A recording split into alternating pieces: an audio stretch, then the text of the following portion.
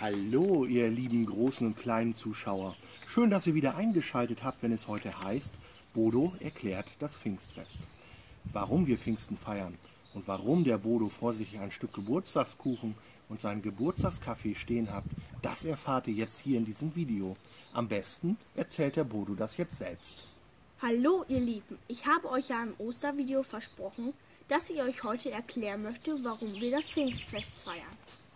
An Christi Himmelfahrt, den viele von euch besser als Vatertag kennen, haben wir gefeiert, dass Jesus zu Gott in den Himmel kam. Nun freuen wir uns auf das Pfingstfest. 49 Tage sind seit Ostersonntag vergangen. Heute ist der 50. Tag der Osterzeit. Das kann man sich so merken. Das Wort Pfingsten kommt vom altgriechischen Wort Pentekoste.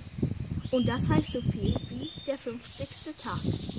Jedenfalls trafen sich Jesu Freunde, die Apostel, zum Pfingstfest. Sie saßen in einem Haus zusammen und feierten.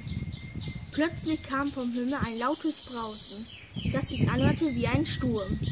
Mensch, Bodo, das hört sich an wie ein Gewitter oder ein Donnerwetter. Und was ist dann geschehen?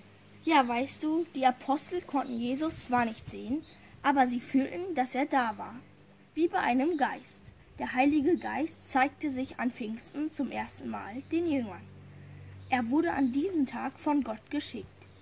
Denn der Heilige Geist ist ebenso wie Jesu. Ein Teil Gottes. Gott hat also drei Gesichter.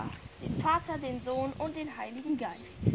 Ui, Bodo, das hört sich aber ein wenig kompliziert an. Aber erzähl ruhig weiter.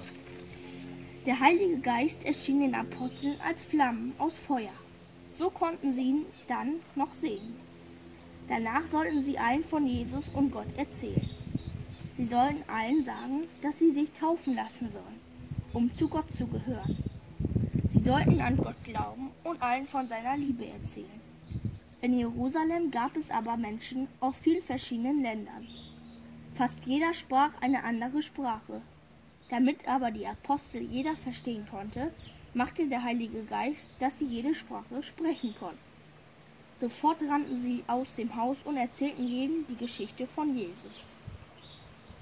Manche der Bewohner Jerusalems lachten über sich. Sie hielten es für Unsinn oder einen Witz, was die Apostel sagten. Sie sind vom süßen Wein betrunken, veralberten manche die Apostel. Petrus, einer der Apostel, stand auf und erhob seine Stimme. Diese Männer sind nicht betrunken, ermahnte er die lachende Menge.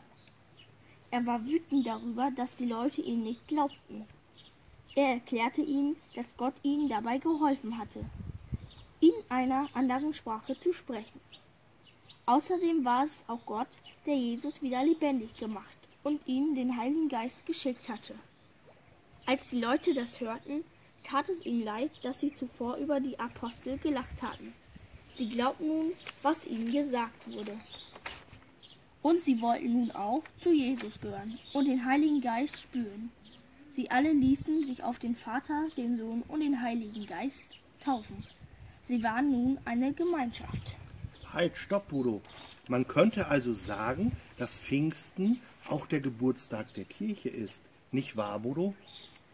Ja, weißt du, deshalb habe ich hier auch ein Stück Geburtstagskuchen vor mir stehen, weil ich gleich noch ein wenig den Geburtstag der Kirche feiern möchte. Seit dem ersten Pfingstfest hat sich der Glauben und die Kirche in der ganzen Welt verbreitet. Und viele Menschen lassen sich taufen, um Teil dieser Gemeinschaft zu werden. Ja, liebe Kinder, nun wisst ihr, warum die Christen Pfingsten feiern und die Kirche diesen Tag als ihren Geburtstag ansieht. Bodo und ich wünschen euch und euren Familien ein gesegnetes Pfingstfest. Bleibt gesund und passt auf euch auf. Und seid wieder dabei, wenn es heißt, Bodo erklärt frohen Leichnam. Tschüss, bis bald.